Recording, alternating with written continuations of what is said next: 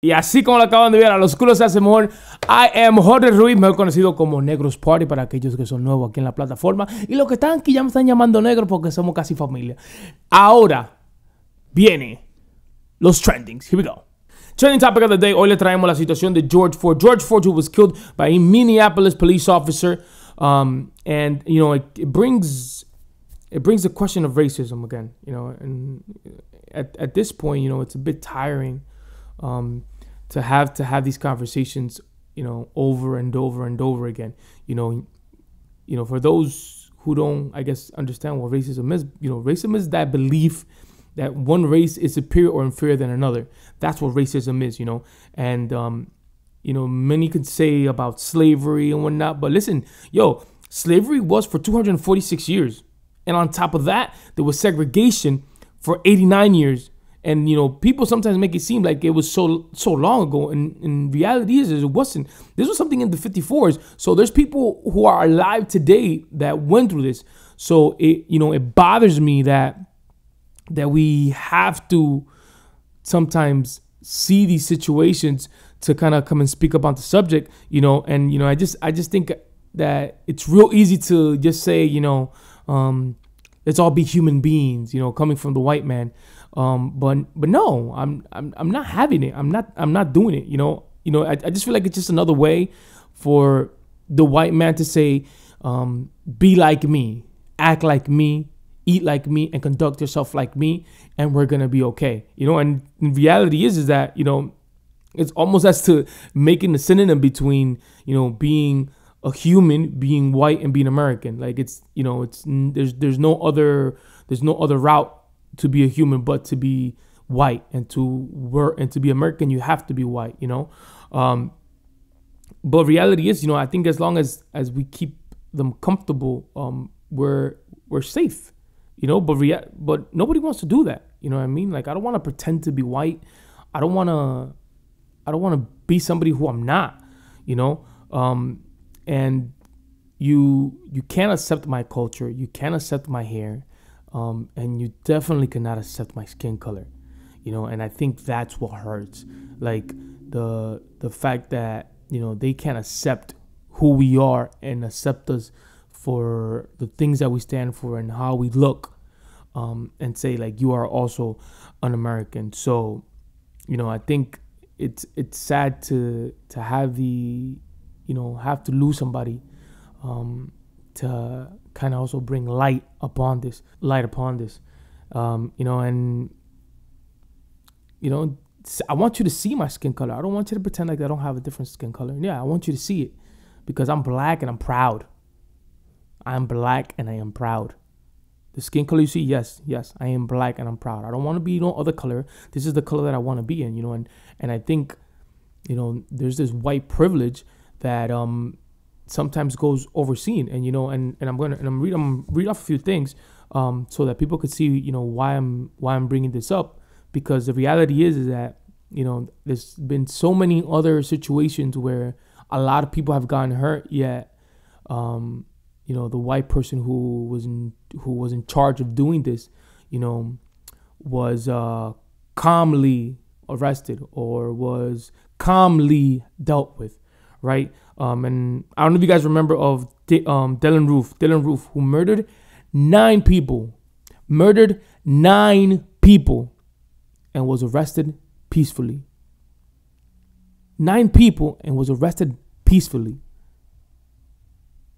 So when you know, and I and I, you know, I think you know, a police officer, you know, it's you know, when the endangerment of others, right? Um, de-escalation, um, these are things that are very important before you make a decision.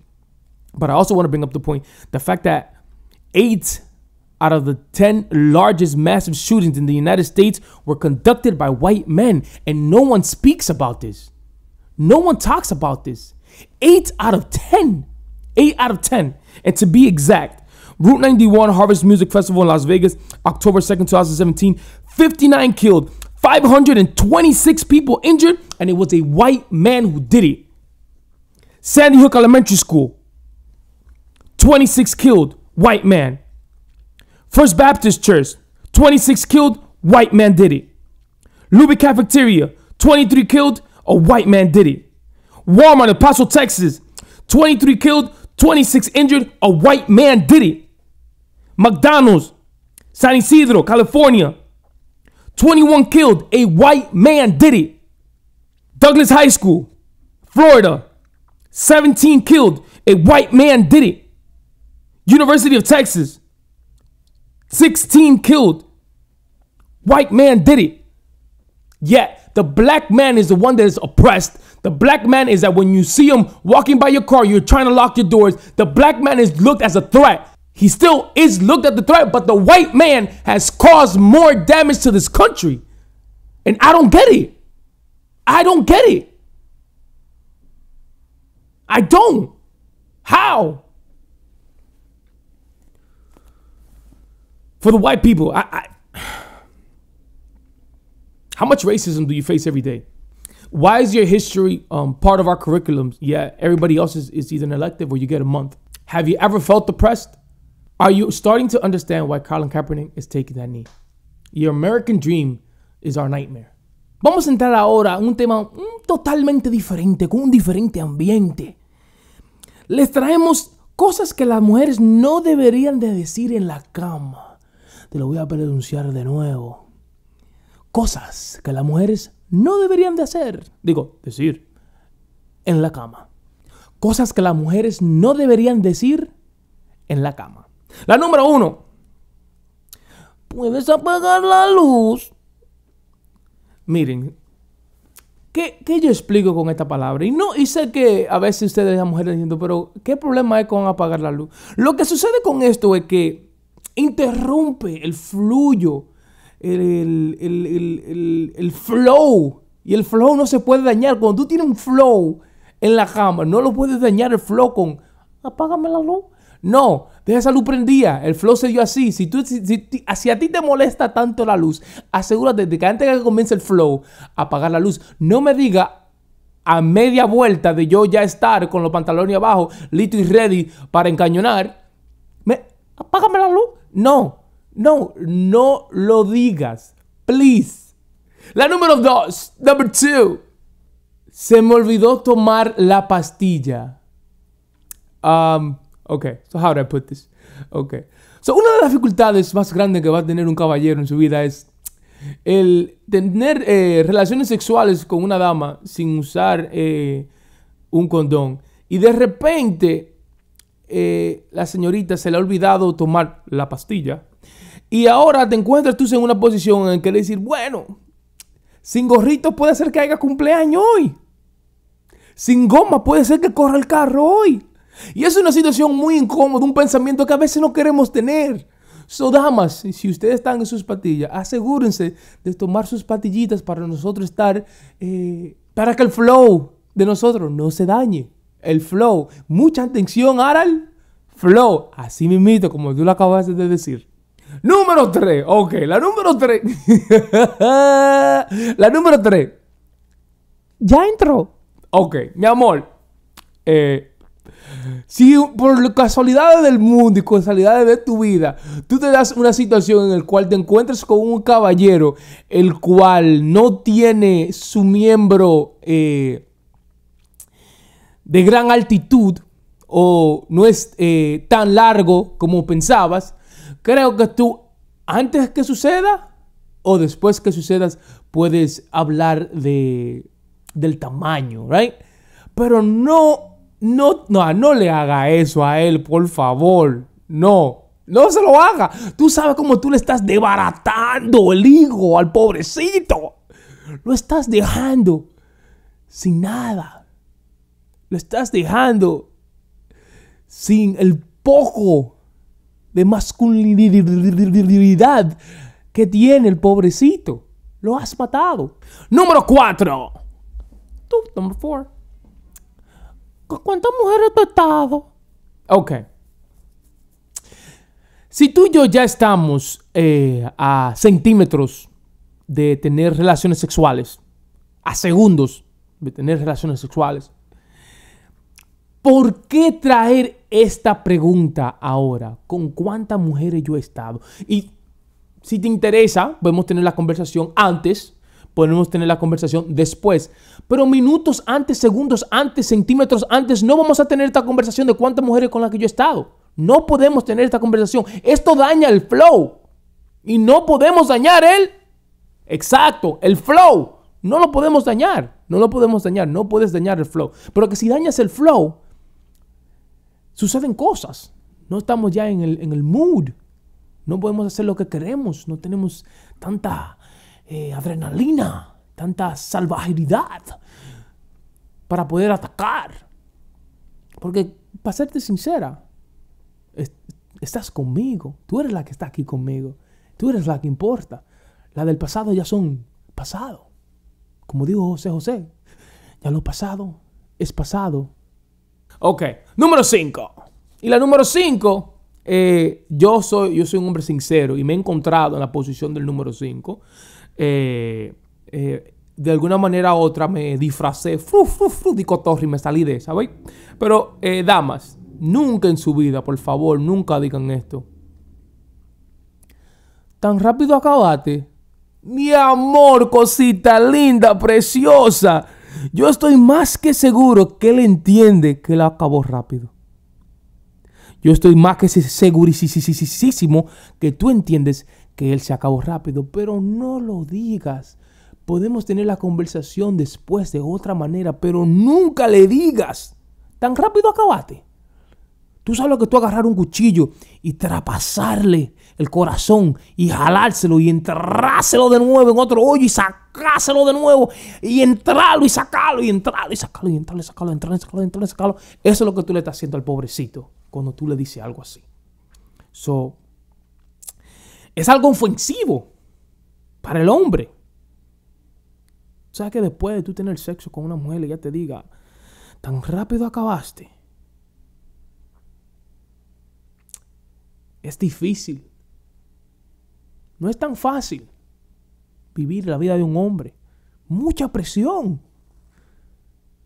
Si no eres lo suficientemente grande en una, en una no duras demasiado, como quieres malo. Mucha, pero mucha presión. Número 6, número 6. Ok, y la número 6 también me quilla porque la número 6 va con la número 5, ¿right? La número 6. Te falta mucho. Mira, hija de la grandísima madre que te parió. So, entonces, si te lo doy rápido no es suficiente. Si duro mucho también es un problema. Ustedes tienen que decidir si ustedes quieren que dure el poco o que dure mucho. Una de las. No hay ni que nada en between. Es una de las. Tienen que coger. Dios mío. Porque ustedes te creen que cuando uno, que tú crees que uno no está enfocado para durar tanto, tú sabes cuántos tigres están pensando en la abuela para no poder eh, llegar al clímax. Tú sabes cuántos tigres están pensando en otra cosa que le va a bajar el fluyo de sangre a su pene para que no lleguen al clímax. Eso es un enfoque. Eso es precisión. Eso es tiempo, eso es talento. Y vas a venir a decirme, oh, ¿cuándo va a terminar? Eh, eh, te falta mucho.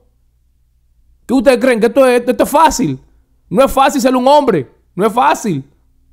Dios. Y por último, al número 7. Gracias a Dios. Déjame tocar, déjame tocar una tablita aquí. Gracias a Dios que la número 7 no me ha pasado a mí. Porque el día que me pase, pueden ser que este podcast ya no exista. Si la número 7 me pasa, puede ser que el negro esté eh, eh, detrás de las rejas. Si la número 7 me pasa a mí, ustedes lo van a ver porque lo van a ver por toda la noticia. Si la número 7 me pasa a mí, yo hago un show completo. Déjame contestar el teléfono. Mire tú. Ok. Eh, no te atrevas a contestar el teléfono mientras estás en el medio del acto sexual con una persona. Y esto va para los dos. no va más para las mujeres, esto va para los dos. Right? Um, es, no tan solo que es una falta de respeto, es... Me está diciendo que lo que está sucediendo no te gusta, primeramente. Si no te gusta, te puedes ir. Te lo dije yo. Número dos, ¿qué tan importante puede ser esta llamada? Déjame acabar. let me finish. You you know what that is? Pick up the phone while we're having sex. That's that's crazy. To tell me, yo, how much how much longer before you come? That's wild. Oh, you came too quick. That's disrespectful.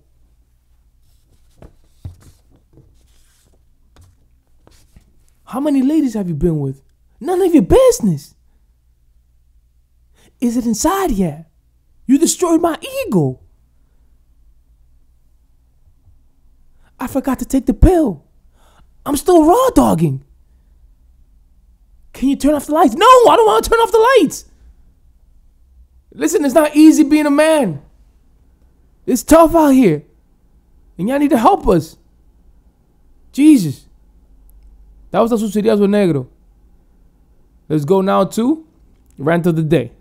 And today's rant of the day, today's rant of the day is gonna be focused on men. Why men? Um, just because you know Twitter currently has this trending topic of um, dear men, right? And um, I feel like there's a lot of topics here um, that men need to hear about, and um, men um, uh, should understand. Um, and I think this was a perfect opportunity for me to do it. Um, and I'm gonna start with um, dear men. Um, asking for help does not make you less of a man. Um, and I understand. Um, I've been in the position where I thought asking for help uh, made me feel less of a man. To be honest, I think I sometimes struggle with it today. You know, sometimes you feel like you know you should be complete, but I think the difference between you know a boy and a man is that you know we acknowledge that we're not perfect. We acknowledge that we have room for improvement. Um, we acknowledge that um, there's going to be others who have uh, um, the experience, the knowledge um, to help us get past whatever it is that we need help with. And I think the most important part is being able to actually ask for that help um, and uh, and be willing to uh, understand that it doesn't make us less of a man for asking for it. So, dear man, um, you know, admitting you have mental health problem does not make you less of a man either.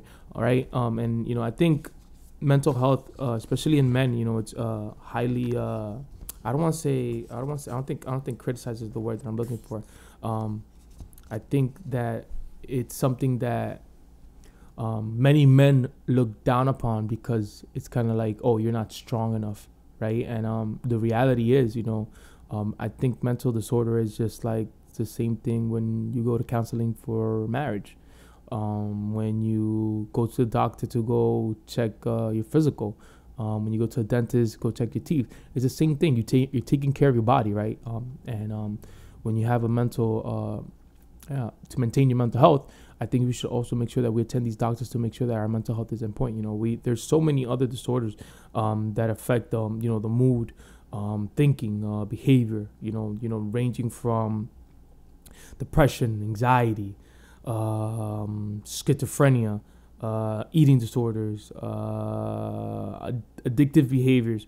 Um, you know, and these are things that as men, um, I think we should you know, maintaining, um, keep maintenance um, on them, you know, because, you know, you, we could be good today and we could think that we're good today, but we should always uh, take the time to to check um, on ourselves and especially on our mental health because um, I feel like we uh, have a lot of pressure on things. Um, so moving on to the next one, uh, dear men, uh, showing emotion does not make you less of a man.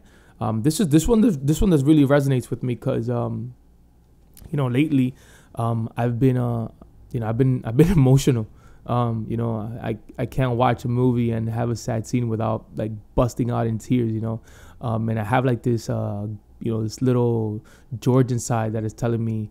Um, hey, you're you're not supposed to cry about this. You're not, you know, you're supposed to suck it up. Don't don't let those tears come out. Um, you know, but um, I wonder, you know, is it, you know, is that is that good for me? You know what I mean? Is you know what's you know I think this this should be a point where we kind of accept that we have feelings, um, that we could uh, connect with others, and that that we connect with others, and that um, it's important to have emotions. It's important to feel. It's important um, to allow ourselves to be emotional with others because you know a, one I think is you know I think it uh it strengthens um our connection with people, and um you know it's uh it, I think is one of the by far one of the most important things that uh, a man um, should have is being able to be emotional and being able to share it. You know, especially when you you move in your manhood um, and you become a father and you have you know you have little ones you know i think you know that that should allow you to be emotional with those kids and you know with your um, with your wife because you know those are people who share very important like moments in your life so you should keep them and um, dear man uh, don't look for validation in your masculinity by involving yourself with a bunch of women um, I chose this one um, because I feel like this is one that um, that is currently by far one of the biggest struggles that men have. Um, your masculinity is only confirmed um, by the amount of women that you're with and how you know how we conduct ourselves in certain manners uh, to verify that masculinity, right? Um, and I don't think it should be like that. I think you know our masculinity should be defined by our values and our character it should be valued by the way that we carry ourselves, how we treat others, um, and the impact that we have on the lives of others. I think that is the way that your masculinity should be confirmed. Um, and last but not least, the last one, dear men, um, don't let anyone make you feel less of a man because you can't afford the lifestyle that they can't maintain themselves. Um, you know, I know financial is definitely one of the struggles that a lot of men have, right? Um, and I don't mean like everyone's broke, but I mean is uh, when we have financial hardships, it's very hard for us to deal with them. Personally, I'm one of those. Um, I don't. I still haven't learned how to deal with financial hardships, and um, and I sometimes believe that, you know, it's it's a pressure that I put on myself because I feel like I'm at a point where I'm supposed to be um, financially stable. I'm supposed to maintain myself um, and not be able to, and, not, and I shouldn't be struggling. Um, but you know, I feel like sometimes, you know, we receive this pressure from other people that I can't maintain the the lifestyle that they speak of. Um, yet they, you know, they expect us to maintain it to verify whether we're a man or not, and it shouldn't be like that. And today we're gonna bring in a new segment, a new segment llamado Yo tengo un amigo. You tengo un amigo is that friend. We all have that friend. We all have that friend that does that one thing that you're kind of like, oh my god, this guy, or like, come on, bro, we can't, you can't be doing that. Come on, you can't be doing that. Or that one friend's like, yeah, you know, this guy's wifed up. He's not coming back around. So I had a few of my friends send me a few voice notes. So I'm gonna play the voice notes and look. this is what happened. Es más, me, me quillé. Yo tengo un amigo por ahí, mira, que cuando yo le mando un mensaje, yo lo saludo a ella, a la mujer. Yo le digo, buenos días, fulano, buenos días, fulano. Porque yo no sé cuál de los dos que lo está leyendo ya. Listen to me. Oye, yo creo que a veces tenemos ese amigo y todo. Y mira, mira, yo sé que tú tienes ese amigo. El que cuando tú mandas un voice note o tú tienes un chat, tú tienes que manejar de qué manera tú estás hablando porque tú no sabes si él o la mujer que está leyendo los mensajes o él o ella el que lo está cogiendo. So uno tiene que andar tranquilito antes de que te den un fuetazo. Mira, bro, yo tengo un amigo que ese bárbaro le tira y se lo mete a todas las exes de sus amigos, bro. Tú puedes creer, pero tú sabes que no vamos a entrar en tema porque ese tema es bien delicado. Bro. All right, listen to me. Um, I think that's part of bro code. Um, can I Okay, I've done it. I did it once. I did it once. I did it once. I did it once. But I kind of sort of asked permission before I did it. So I kind of think I kind of cleared myself out on that one. But, you know, eh, de, paren de estar eh, dándose la, la ex de su, de su amigo. Porque si, lo que esto, yo, yo no voy a decir nada. Vamos a movernos para la próxima antes de que yo, yo me meta aquí en un lío. Parcero, yo tengo un amigo que me le cingué la mujer. Y ahora creo que se agregó otro. Yo, who are these? Ah, listen, listen, listen, listen, listen, listen. Primeramente, primeramente, si usted tiene un amigo en el cual coro entero le está dando a la mujer, usted tiene que ser buenos amigos o no son amigos. Si son buenos amigos, le dicen, oye, la mujer tuya está corriendo por el coro entero y nos está tirando los perros. Si no son buenos amigos, se le van a dar a la mujer, no le van a decir nada. Eso es lo que dice el negro, pero eso soy yo. Y aquí, y aquí viene otro más, aquí viene otro más. Here we go. Oye aquí entre tú y yo, yo tengo un amigo, pero no le diga nada, oíste. Yo tengo un amigo que está enamorado, pero no de la novia. La novia no lo sabe. Y la amiga que, que se lo mama, lo sabe. Pero no diga nada, oíste. Oye. That's wild! That's wild! Ahora, yo te voy a cosa. Mira, yo tengo un amigo que después que se casó con la mujer, más nunca ha vuelto a los chats, eh, ya no responde, eh, ya no llama a uno, pero está todo. manito, yo te quiero como quiero y te queremos de gratis. Esto fue, eh, yo tengo un amigo, porque todos tenemos ese amigo. La pregunta es, ¿ese amigo eres tú?